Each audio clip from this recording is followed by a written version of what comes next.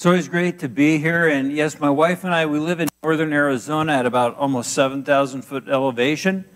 People think of Arizona as all desert, but actually it's pretty similar to where you guys live here.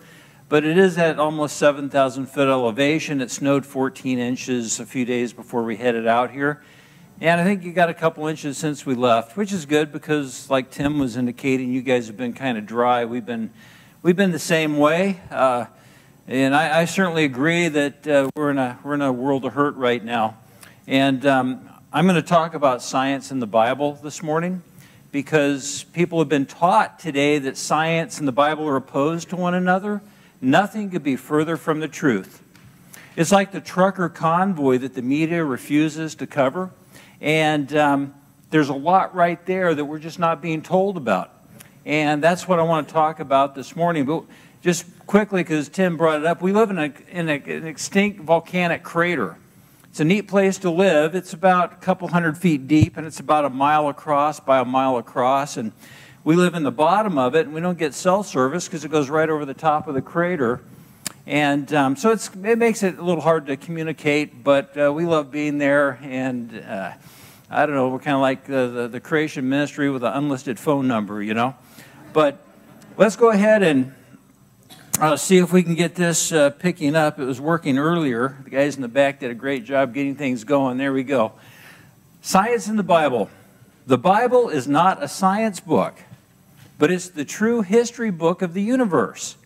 And when it makes a statement that can be scientifically tested or historically tested or archaeologically tested, if it's God's word, it will hold up just fine. And my friends, it does, word for word and cover to cover. There's a lot of little nuggets in the Bible that we were told that science didn't figure out was true, sometimes for almost 3,000 years. Like we're told that God sits on the circle of the earth. And sure enough, we find now that the earth is spherical. Uh, we're told in Jeremiah, probably the oldest book of, of Scripture, that the moon divides the sea. And about 2,000 plus years later, we discovered that the moon causes the tides and divides the sea twice every day on our planet. The Bible contains over 83 verses about the need for cleanliness to prevent spreading disease. These were written over 3,000 years before we discovered germs. In fact, the great plagues that killed millions in uh, Europe were ended when people started following the laws of cleanliness found in Leviticus.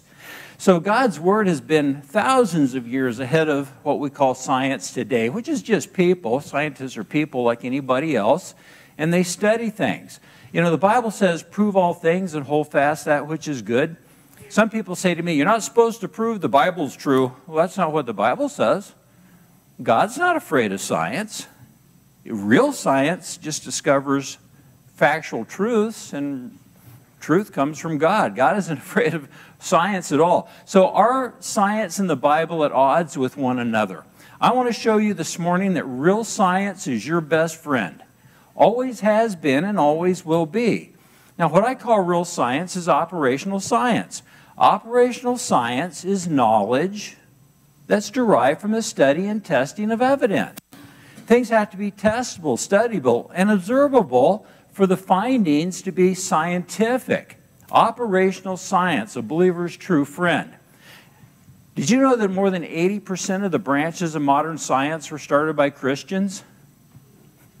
I was speaking in a high school in, in Oregon two years ago, and I walked in, and the kids came in just cross eyed, just glaring at me. It kind of surprised me. I expect that on college campuses, but kind of took me off guard with the high schoolers. And God just gave this to me. Before I started, I, I just asked, hey, how many of the branches, the 200 or so branches of modern science, do you guys think were started by Christians? None. Try over 80%. You see, we thought there was an intelligent creator. He probably put some laws in place to govern his creation. And if we studied his creation, they call that nature today, we could discover some of those things and put them into practices to improve our lives. And that's what led to over 80% of the branches of modern science to study God's creation. How would you set out to study random chance? You couldn't. There would be no science without Christianity. Now, that's been undermined by atheists over the last 150 years, and now they own the system. But all the branches of science and the greatest scientists ever Isaac Newton, Louis Pasteur, uh, Francis Bacon, etc. Bible believing Christians. That's the reason we have science today. Now, the Bible tells us that God formed the earth to be inhabited.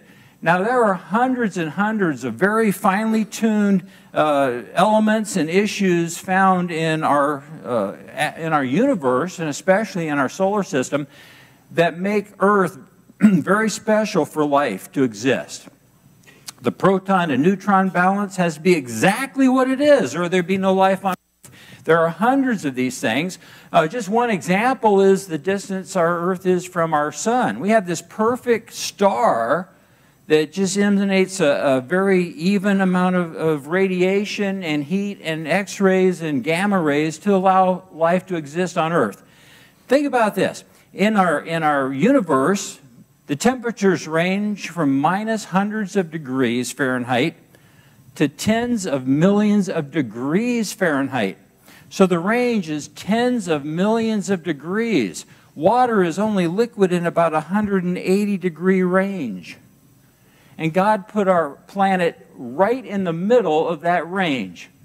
We, if we were 2% closer to the sun, all the water would evaporate. There'd be no life on Earth.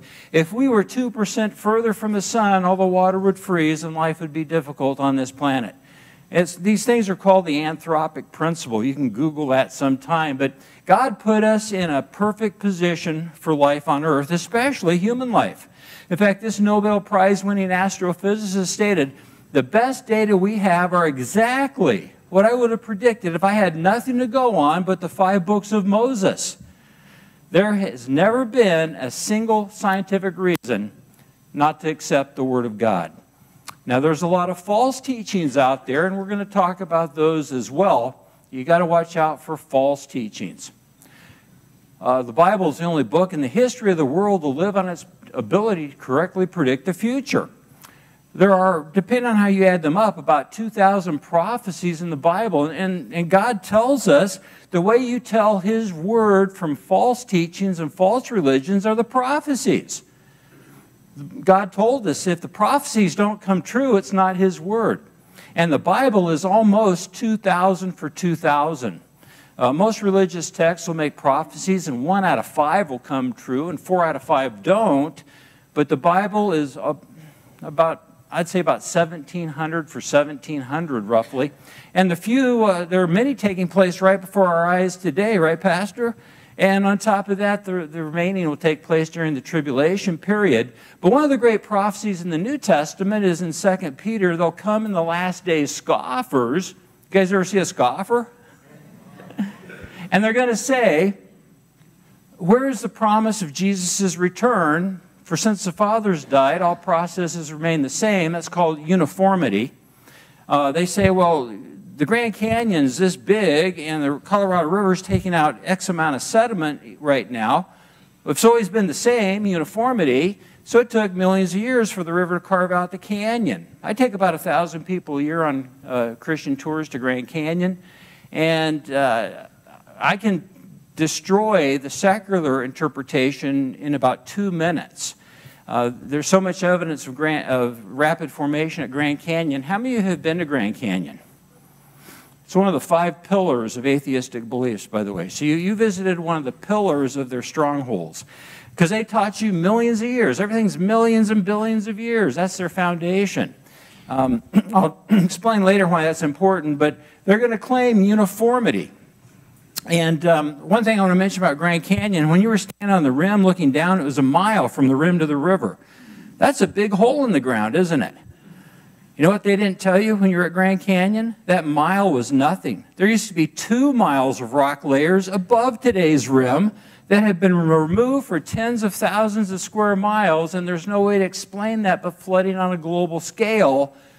But they claim uniform processes and deny the global flood. And that leads us to historical science. Understand, operational science, real science is your best friend, knowledge derived from the study of evidence. But historical science is not knowledge, it's assumptions derived from taking operational science, things you can test it today, and applying those rates, like how much sediments being taken out of Grand Canyon, and extrapolate backwards to unobserved events. And that totally messes up a person's observations with regard to their assumptions. Assuming that present events have always been the same destroys the accuracy of historical science. The bias in historical science, based on uniformity and also a lot of atheism, corrupt the non observed assumptions of historical science. It's historical science where there is controversy found between the Word of God and what they call science. Real science is your best friend, historical science is the issue.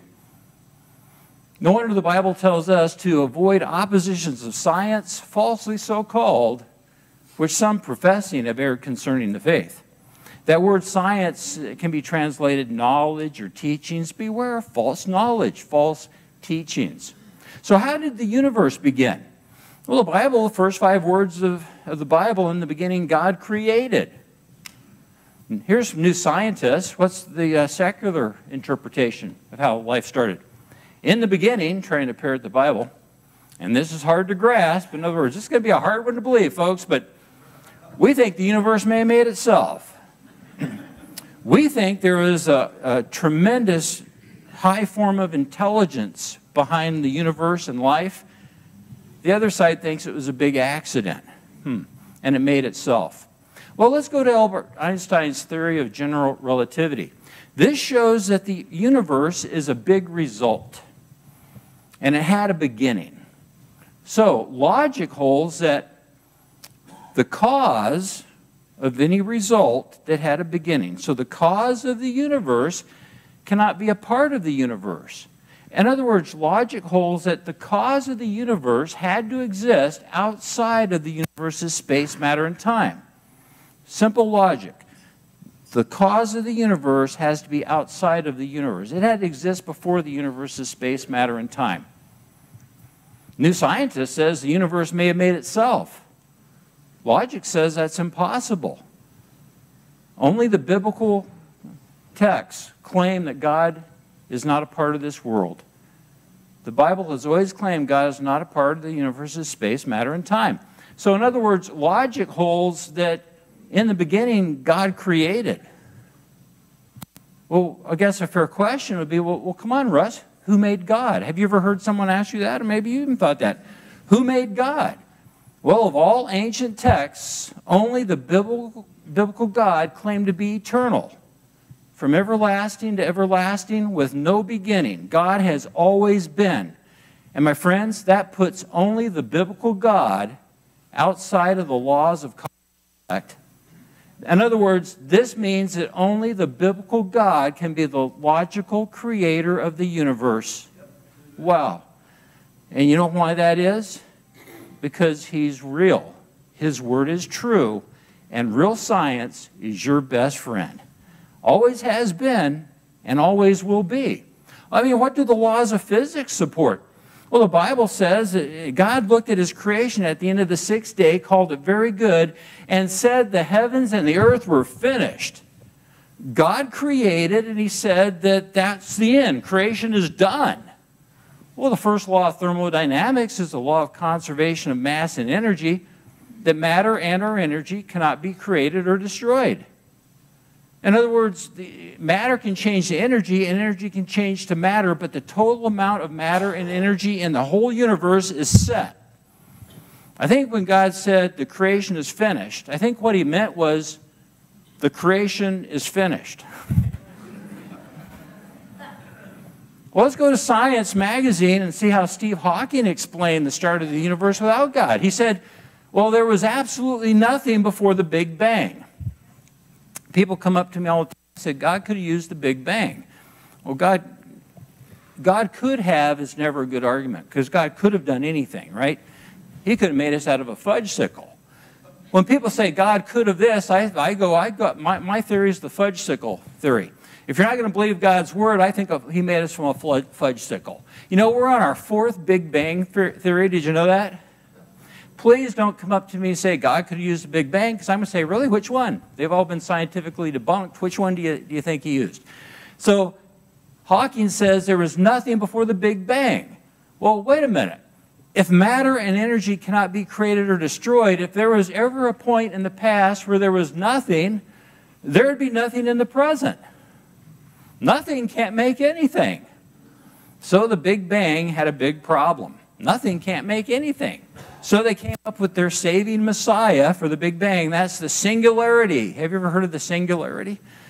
That's where try to try to uh, try to think about this. This is where all the matter in the entire universe, not just this building, not just the entire planet Earth, but all the energy and matter in the entire universe, it was squished together into a little bitty period about the size of a period at the end of a sentence. That makes sense, right? And then it exploded. Well, they'll get mad. It didn't explode, it expanded rapidly, which sounds a lot like it exploded to me. It exploded. Well, let's go back to science, see what Stephen Hawking says about the singularity. The laws of physics, they cease to function inside that tiny particle. In other words, this goes against all science and all observations, but rather than humbling themselves to the Word of God, they're going to go with the singularity. We trust in Jesus Christ. Non believers trust in the singularity that goes against every observation and scientific law. But see, they've been taught that their view is scientific and they don't realize no, it's, it's an anti scientific fairy tale. Discover magazine said this guy retired after 35 years of studying the universe, that he found that before our universe there was nothing, nothing at all. Now, as a Christian, I agree with the fact there was nothing before the, before the universe. God spoke, and boom, it existed. He, he's outside of space, matter, and time. He's the only logical creator. But from their standpoint, if there was ever a time when there was nothing, they've got problems. I mean, ask this guy after decades of research and spending millions of dollars of grant money, what did you discover? Nothing. well, what evidence did you find? Nothing. But you believe nothing made everything. Absolutely. That's a religious belief. You know, if you want to have that religious belief, uh, I'm not going to argue with you. That's your choice. But I just don't want them teaching this to children who don't realize that it's not a scientific fact. We're being taught these are scientific facts. And as you can see, even from their own words, they go against science. Now, the second law of thermodynamics is the law of entropy, that things get worse and worse. Things lose energy and wear out. The Bible told us that the earth and the heavens will perish, they'll wax old like a garment. Things are going to lose energy and wear out. And about 1700 years later, science proved that to be true. With the second law, the law of entropy. That is the most accepted law in all of the 200 branches of modern science except evolutionary biology, which is teaching things are getting bigger and better, going against scientific law and all observations, by the way. So, the second law says things get worse and worse. The Big Bang says nothing blew up and got better and better. That nothing blew up, the singularity, I shouldn't say nothing, the singularity blew up, I'm sorry, expanded rapidly evolving into living systems, genetic information, complexity, and intelligence. Nothing evolved into all of that. That's never been observed. That goes against real science. The Big Bang makes no logical or scientific sense. In fact, this letter appeared in New Scientist titled Bucking the Big Bang, signed by dozens and dozens of uh, scientists. And they said the Big Bang can boast no predictions that have been validated by observation, you know, by science, observable, testable, statable evidence. They said the theory relies on a growing number of never observed entities like the singularity, inflation, dark matter, and can't survive without these fudge factors. In no other field of science would this be accepted because this isn't science. It's science falsely so called, false knowledge, false teachings. But it's being taught to kids as if it were scientific fact. And everybody in this room, including myself, has been taught these things. You wonder what in the world's going on with our country. Well, you turn back to 1963. In 1962, The ACLU had a lawsuit that they won, and it removed prayer from our schools. In 1963, we kicked out prayer and creation and start teaching our future generations they had evolved without God, that there is no God, there is no creator. You evolved on your own after the Big Bang. We've taught that as science for 60 something years, and we are reaping the fruit today. Um, take two minutes when you get home today. Two minutes. Read Romans 1 15 to 32. Take you two minutes. And keep 1963 in mind when we kick creation and prayer out of our schools. And it will blow you away with the truth of God's word because he tells what he will allow to happen to people who turn their back on him. And it'll blow you away. You'll think you're reading a front page headline if we had real news anymore. So, how did life begin? Well, again, the Bible says in the beginning, God created. Uh, I spoke so many times at this one college that uh, they actually uh, made a, a, a, accredited class attacking me in biblical creation. They ran it for at least four years. For their final exam, they made fun of me for, for an hour and a half. I mean, I've been married 35 years. You think that's going to bother me? Come on. I'm just kidding. I'm just kidding. So I went to their book written by the president of the National Center of Science Education to see how, how they, in the modern college textbooks, explain how life started without God. And on page 26, this was her explanation. The origin of life was a continuum of events with a lot of iffy stuff in the middle. Do you think maybe they have no clue whatsoever how life could have started without God? You know, the Bible, again, one of the great prophecies, this is in Jeremiah, we're told people will turn their back on God, saying to a stone, Thou hast brought me forth. Well, come on, nobody's, you know, today we're far too scientific to let anyone tell us we came from a stone, right? Right? Well, let's go to the modern textbook, see what kids are told today. Kids, Earth is thought, believed to have formed four and a half billion years ago, and it started out as a big ball of hot rock. And oceans formed as it rained on the stone for millions of years, and here we are today. They are teaching we were brought forth from a stone. I have atheists who'll get right in my face. So you believe your invisible God created the world. I just say, you believe we came from a wet rock. You should try it. You'll like the result they will, it takes the wind right out of their sails. They will stutter back, regroup. You're making fun of our position. We don't believe that. Uh, just say, I'm not trying to make fun of your position. I just don't think you understand your position. You believe in the Big Bang, right? And they'll say yes. Don't get into which one. Just takes off on another rabbit trail. So you believe in the Big Bang, right? Yeah. Well, you believe that next to nothing blew up, right? And after billions of years, a big rock formed, right? Yeah. And it rained on the rock for millions of years, right? Yeah where you're sitting there with this wet, sterile rock that has no life on it whatsoever, where do you think we came from? And they'll go, uh, wow, I do think we came from a wet rock. And you've just prepared the soil to plant the seed because they think their position is scientific and you've just shown them it's a ridiculous, anti scientific fairy tale. You know, real science is your best friend. Like the law of biogenesis holds that life only comes from life. You can't get non life to produce life. That's a scientific principle in real science, leaving secularists with the iffy stuff. What about biology in the Bible? Oh, this world renowned atheist speaker said biology is a study of complex things that appear to have been designed for a purpose. He doesn't believe they were, but he admits they seem to be. You know, Secularists and atheists think if you start out with the raw material to, to start life, somehow life would start on its own, even though all science says that doesn't happen. Life is far too complex with uh, genetic information and, and, living systems, etc. So let's just say they, uh, we can't even get life to start from non-life in laboratories. So let's just have the raw material to, to make a brick building. Let's say you had the raw material, you had the brick and mortar, they say, given time and energy, great structures will eventually come about on their own. So let's give them a billion years. And for energy, we haul the brick and mortar up to the top of a five story building. And once a second for a billion years, we push it off. How many beautiful brick structures do we come up with? We come up with this every single time, right? That is what you get with random chance. You throw in some simple human intelligence, you'll get a beautiful brick structure every time. The difference between intelligent design and random chance is immense. There is no comparison. In Genesis 1, we're told God created every living creature. Bees are needed to pollinate flowers.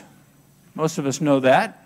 Well, the bucket orchid was designed with a very slimy surface.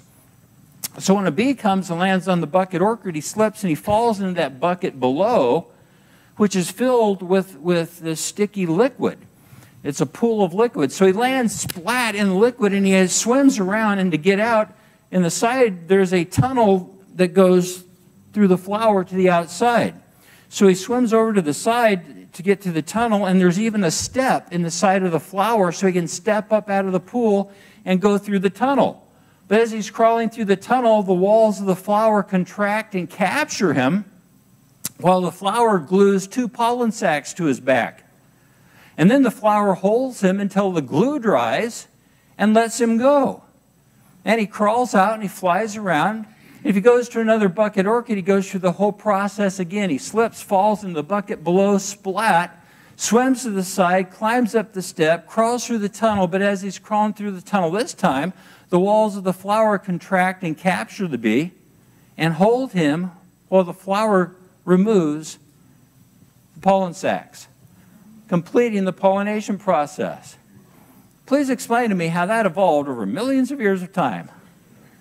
Because if it didn't happen immediately, the pollination process wouldn't have worked, and that would have been that. Talk about intelligent design. The Bible tells us God created every winged fowl after his kind. A woodpecker can peck as fast as a machine gun can shoot. But the sudden stop when his beak impacts the log creates a force that's 100 times more powerful than gravity. So, what prevents the woodpecker's head from exploding the first time he pecked a tree? Well, he was designed with muscles that pull his little bird brain away from his beak just before each impact as fast as, as a machine gun can shoot. And he has a spongy bone in the back of his head that absorbs shock. That had to all be there from the very start. That couldn't have evolved over even a day's period of time. The first peck would have been the end of the woodpecker. That's proof of intelligent design. We could go through a million such things. No wonder the Bible says, I will praise thee, for I'm fearfully and wonderfully made. Your brain is the most awesome living computer, far more advanced than any computer ever even thought of by mankind. Your brain computes and sends millions of pieces of electronic data to billions of nerves throughout your body through the central nervous system. If we really thought about it, the ability to do this is absolutely mind boggling. Your eye has one and a quarter million nerve connections in a one square inch area. As you look around this room, your eye is performing hundreds of thousands of functions connecting with your brain so quickly, we just take that for granted. In Leviticus, we're told the life of the flesh is in the blood, and 3,000 years later, science caught up and found the life of the flesh is in the blood. It takes blood and oxygen, nutrients to your body's parts. Uh, let me think, let's think about this. This kind of freaks me out a little bit, and hopefully it won't freak you out too bad. But what keeps us from bleeding to death when we get a scratch? You ever think about that? Well, you see, you were designed with a protein called fibrogen. It forms a fishnet like, like structure right at the point where you get a cut or a scratch. Well, think about this. This is what freaks me out. What keeps the fibrogen from clotting up all of your blood and killing us all instantly?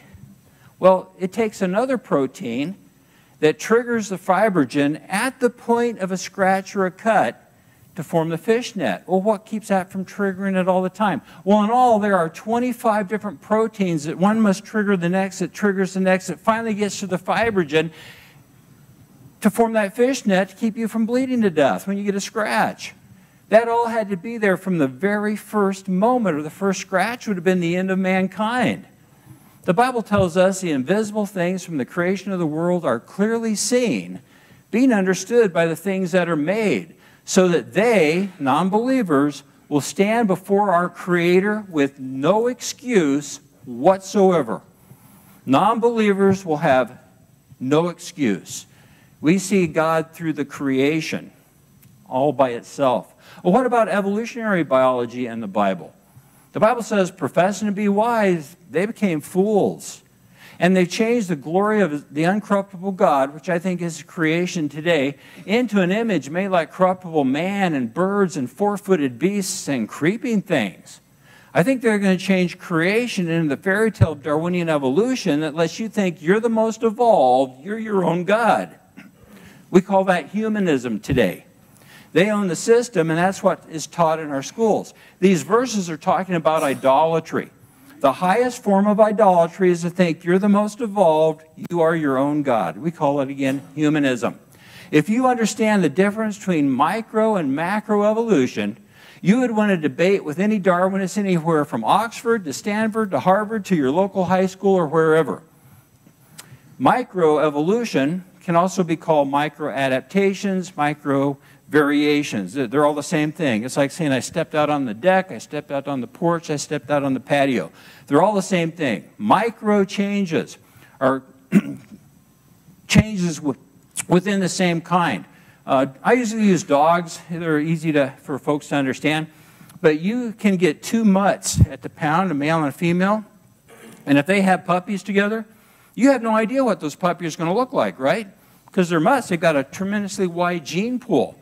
You get two purebred yellow labs, your puppies are going to be yellow labs, and you know that because that's the only genetic information they have left. These micro changes are caused by the sorting or the loss of the parent's genetic information. Dogs will only produce dogs, pine trees only produce pine trees, people will only produce people. Darwinian or macroevolution would be a dog producing a non dog, like a whale, a porpoise, a pine tree, whatever.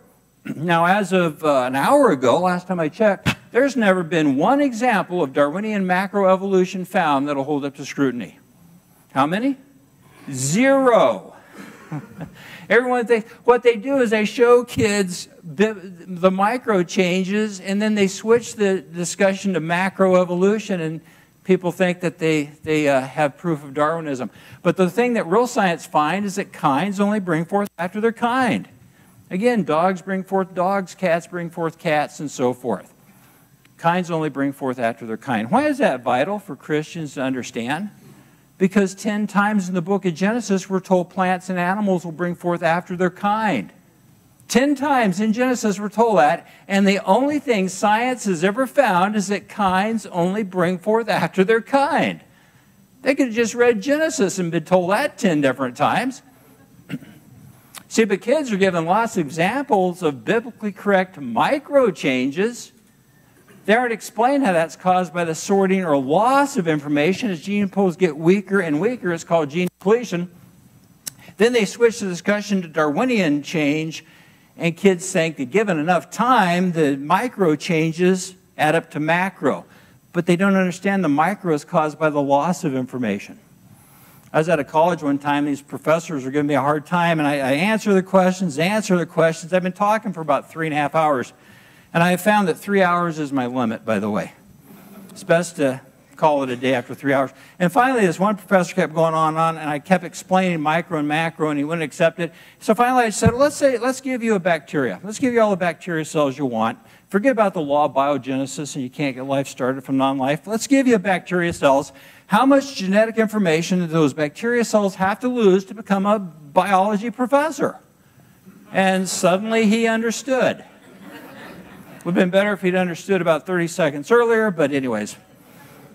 And then everybody said, everybody said I was mean, haughty, arrogant, and unloving for pointing that out. But but micro changes are caused by the loss of information, gene depletion. It's what breeders use. Breeders don't breed in information, they breed out through gene depletion. If you want to get purebred yellow labs, you breed puppies together with those traits and keep uh, breeding the puppies with the traits till you lose gene depletion. You lose what you don't want, and you end up with a purebred, like a yellow lab that's just lost all the other information. And this is how you destroy Darwinism scientifically in four seconds flat. Gene depletion plus natural selection makes Darwinism a scientific impossibility. Things are losing information, and eventually they lose too much, they die off. Now, we call that natural selection. There's no selector standing there. It's actually God's quality assurance program. If things kept losing information, everything would go extinct in 1500 years. They lose too much information and they die off so they don't corrupt the gene pool. God's QA program, we uh, wrongly call that natural selection. So, operational science, a believer's best friend, will show us that the law of biogenesis holds Darwinism couldn't have started. The law of entropy holds things get worse and worse, gene depletion. No one's ever seen anything Darwinian macro evolve because gene depletion plus selection makes Darwinism a scientific impossibility. That's the reason they have no evidence. It wasn't because it got lost in the iffy stuff. This philosopher stated posterity will marvel that so flimsy and dubious an hypothesis as Darwinism could have been accepted. What about geology in the Bible? Is the earth billions of years old? Well, again, back to those scoffers, they're going to be willingly ignorant. They're going to claim uniformity and be willingly ignorant that by the word of God, the world that was being overflowed with water perished.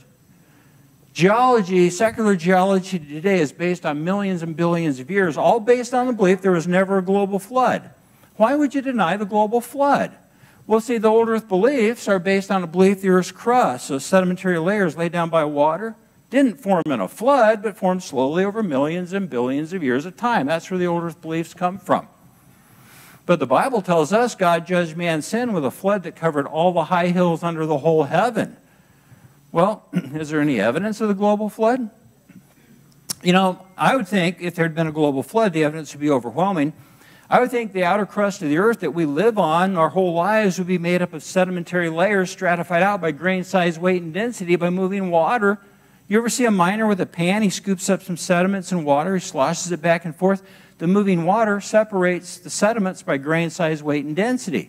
Well, on a global scale, I would expect the, the top mile or so of the Earth's crust to be stratified layers. So you'd have all shale together, all sandstone grains together, all mudstone grains together. It wouldn't just be a big brown conglomerate like it formed slowly over millions of years. What do we find today? Well, the outer crust of the Earth averages a mile deep of sedimentary layers stratified out by grain size, weight, and density. So you have all shale together, all sandstone together, etc. And those layers, laid down quickly by water, are full of billions of things that we call fossils that were drowned and buried so quickly they didn't have time to rot away or get eaten by scavengers. Exactly what would be there if the Word of God was true, and the Word of God is true, word for word and cover to cover. You know, trilobites are found in the lowest layer with appreciable fossils, so Darwin Darwinists say they were one of the first things to have evolved. Really? They have the most complex eye design ever discovered a two lens system with up to 15,000 lenses, a double lens configuration. It is so complex, it's hard to describe, and they think that was the first thing to have evolved. I think that just shows intelligent design. And I think God put those things in the very bottom just to hold them in derision. He's laughing at them from heaven. He says, the Bible tells us God has them in derision. You know, we find geologic compression events where mountain ranges of finely stratified layers laid down by water are squished together like an accordion with up 160 degree bends in the rock. But the rock's not broken. How do you bend rock like that without breaking it? Unless they were still mud layers. The continental drift took place toward the end of the flood, when they suddenly stopped, they folded up because they were still mud. We find polystrata fossils that go through multiple layers. Those had to have been laid down quickly, not slowly. Did you know remains in all fossil bearing layers have been found that still have amino acids and blood cells? Did you know that more than 50 non fossilized dinosaur bones have now been found? 50 plus. That still have red blood cells, soft, flexible dinosaur tissues in them, and dinosaur DNA? How could those biological materials have lasted for millions of years? The old Earth dates are based on the geologic column. that the, under the belief that the layers formed slowly and uniformly without a global flood, just like 2 Peter predicted. And they found bacteria trapped in salt crystals. And the, we're told salt crystals are 250 million years old, according to the geologic column, but uh, the bacteria was still alive. How could it be millions of years old? Someone sent me this package of rock salt. The label says, according to the geologic column, it's 250 million years old. And at the bottom, it says that it expires in June of this year. Looks like they got it to us just in the nick of time. So, my friends, how can there be, have you ever heard this though? How can there be a loving God in this world full of death and suffering? Have you ever wondered that yourself or had someone ask you that? It's one of the first questions a good scoffer is going to attack a Christian with. And if you leave here with nothing today, nothing else, know how to biblically answer this question. The answer is incredibly simple. It's been lost because of old earth beliefs. I'll, explain, I'll show that to you in a second. The biblical answer, how can we have a loving God in a world full of death and suffering, is that God didn't give us the world the way it is today, full of death and suffering. God gave us a perfect creation. Well, what in the world happened to it? Adam's first sin. Adam's original sin brought on the curse that allowed death to enter. And that's why we live in a world full of death today, but we have a loving God. There's the biblical answer. Isn't that simple? 95% of Christians cannot answer that question today. Now you can answer it. But you know, the answer should go further than that. Because not only did it bring in death, that original sin separated us from God. And that required us to be redeemed with God. Well, we've got a problem. To be redeemed with God, you have to be 100% righteous without sin. And we're all sinful. I mean, let's be honest with ourselves. Have you ever said something that wasn't true? That makes you a liar. Have you ever taken something that didn't belong to you, even a paper clip or a sticky note? That makes you a thief. We've only talked about this for 10 seconds, and Pastor, we've already admitted we're a bunch of lying thieves here. So there's nothing we can do to redeem ourselves with God. So, how loving is God? He's so loving that He sent His only begotten Son to suffer and die on a cross his shed blood covering our sin so we can put on His righteousness and spend eternity with our Lord Jesus in heaven. That is a loving God. And the problem with the old earth beliefs, it's not the age of the earth from a Christian standpoint, it's that the old earth beliefs put death before Adam. And once you've accepted death before Adam, you can't then tell people Adam's sin brought in death. Do you see that? And that's where the issue is. Put your trust in the non compromised Word of God. And that's why the global flood matters. It puts death before Adam and undermines that teaching. I'm going to stop right here. And I just want to mention as I end, we have all sorts of uh, resources, books, coloring books for kids with a lot of information, several uh, thumb drives and flash drives out there. I don't copyright my DVDs or or my flash drives. If you get any of our information, you can make all the copies you want. In fact, if you gave it to a million people, I would say, praise God. So check it out there. The flash drives are really easy. We have one specifically for people to give away with the four teachings I would give to a non believer or a struggling Christian in the very order I would present them. Um, so check those out. But let me, uh, let me end uh, with this. Francis Bacon, Sir Francis Bacon, is known as the, the father of the scientific method. And he said, A little science might estrange a man from God, but a little more will bring him back. Because real science is a believer's best friend. Just make sure it's real science that you're listening to. Let me end my part with a word of prayer. Dear Heavenly Father, I thank you for this morning. Thank you for Pastor Tim and Cindy and all the staff here and all the dear souls that are here this morning. I hope and I pray some of this information will be eye opening and, more than anything, faith strengthening. So we'll know we can put our trust in you and in our, our Lord Jesus, your word, who became flesh and dwelt among us, word for word and cover to cover. It's in Jesus' great name that I pray. Amen.